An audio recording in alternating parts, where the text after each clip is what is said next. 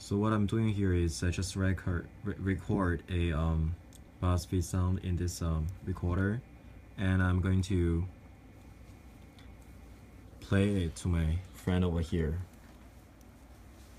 So let's get started.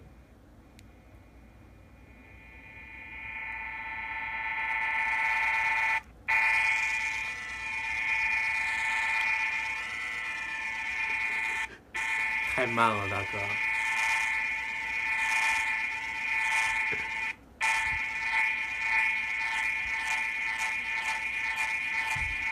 Okay, so when you do the circle move, I feel the sound intensity is increasing when it approaches me, and the pitch remains the same.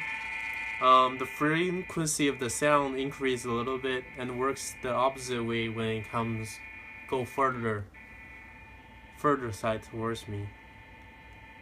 没了，你干嘛？